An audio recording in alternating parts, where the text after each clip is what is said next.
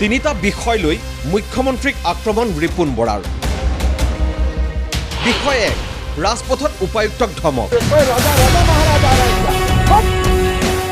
নগাঁৱৰ ৰাজপথত উপায়ুক্তক মুখ্যমন্ত্ৰীৰ ৰাজহুৱা ধমক।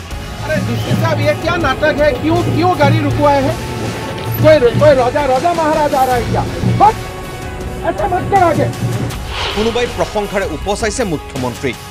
একাংশই সমালোচনাৰে থকা খৰকা কৰিছে মুখ্যমন্ত্ৰীক বহি নাথাকিল বিৰোধী কংগ্ৰেছ।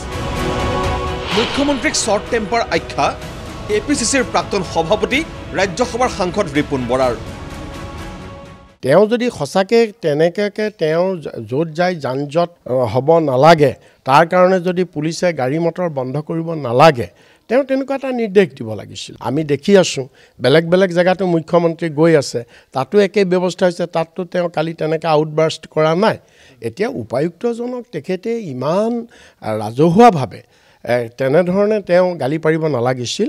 আৰু এগৰাকী মুখ্যমন্ত্ৰী তেওঁ যদি ইমান শ্বৰ্ট টেম্পাৰ হয় তেনেধৰণে যদি তেওঁ উত্তেজিত হৈ যায় মুখ্যমন্ত্ৰী তেতিয়াহ'লে তেওঁ প্ৰশাসন কেনেকৈ চলাব? উল্লেখযোগ্য যে নগাঁৱত শনিবাৰে কেইবাটাও চৰকাৰী কাৰ্যসূচীত অংশ লৈছিল মুখ্যমন্ত্ৰী ডক্টৰ হিমন্ত বিশ্ব শৰ্মাই। সেই সময়তেই চামগুৰি বিধানসভা সমষ্টিৰ অন্তৰ্গত সাতত্ৰিছ নং ৰাজপথৰ কাষতেই এটা অনুষ্ঠানত অংশগ্ৰহণ কৰাৰ সময়ত মুখ্যমন্ত্ৰীৰ নিৰাপত্তাৰ খাতিৰত ৰাজপথৰ যাতায়াত বন্ধ কৰিছিল জিলা প্ৰশাসনে। তাৰ পৰিপ্ৰেক্ষিততেই এইদৰেই উপায়ুক্তৰ বিৰুদ্ধে অগ্নিশৰ্মা হৈছিল ডক্টৰ হিমন্ত বিশ্ব শৰ্মা। डीसी साहब ये क्या नाटक है क्यों क्यों गाड़ी रुकवाए हैं कोई कोई राजा राजा महाराज आ रहा है क्या बस ऐसा मत कर आगे लोगों का कष्ट हो रहा है কিন্তু শনিবাৰে কিয় খং উঠিছিল মুখ্যমন্ত্ৰীৰ স্পষ্টীকৰণ দিলে খোদ মুখ্যমন্ত্ৰীগৰাকীয়ে পোন্ধৰ মিনিট নেশ্যনেল হাইৱে বন্ধ কৰি থৈ দিয়ে।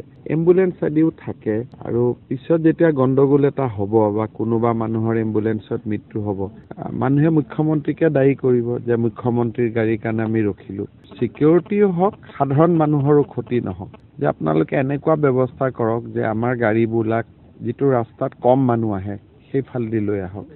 যদি কেতিয়াবা আমি নেশ্যনেল হাইৱেত আহোঁ এটা পাৰ্ট কিবা কাৰণত বন্ধ থাকিলেও ইটো পাৰ্ট যাতে দুইটা ফালে মানুহ অহা যোৱা কৰি থাকিব পাৰে। মুখ্যমন্ত্ৰীৰ বিৰুদ্ধে আক্ৰমণাত্মক হোৱা ৰিপুণ বৰাৰ দ্বিতীয় বিষয় থানাৰ দালালক গ্ৰেপ্তাৰ। মাটিৰ দালালৰ পাছত শনিবাৰে নিশা থানাত এজাহাৰ নিশা দুই শতাধিক দালালক গ্ৰেপ্তাৰ কৰাৰ সন্দৰ্ভত সৰব হ'ল এ পি চি চিৰ প্ৰাক্তন সভাপতিগৰাকী।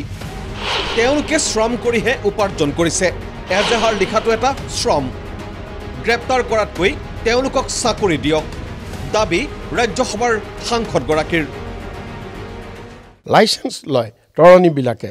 গতিকে থানাত যি যে দালাল নামটো কোনোবাই দিছে বা তেওঁ দিছে বা কোনোবাই দিছে বেলেগ কথা।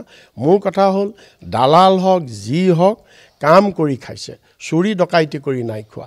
গতিকে কাম কৰি খালে শ্ৰমৰ মৰ্যাদা দিব লাগে আৰু তেওঁলোকে আজি আমাৰ দেশত ৰাজ্যত চাকৰিটো তেওঁ কাকো দিব পৰা নাই।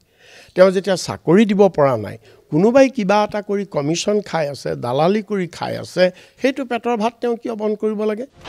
তৃতীয় বিষয় বিজেপি বিধায়কৰ আৰক্ষীক ধমক।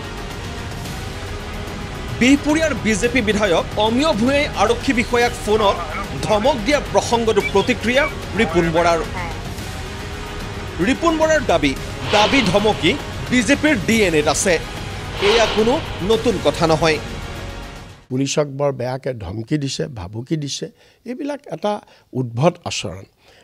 আৰু জনপ্ৰতিনিধিয়ে কেতিয়াও এইবিলাক আইন হাতত তুলি ল'ব নালাগে।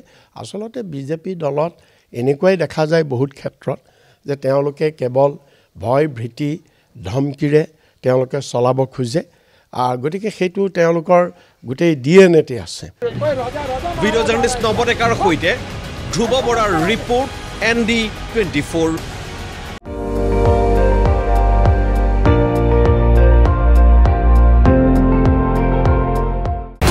আপুনি চাই আছে এন ডি টুৱেণ্টি ফ'ৰ। সৰ্বশ্ৰেষ্ঠ নহয় সৰ্বোত্তমৰ দৌৰ।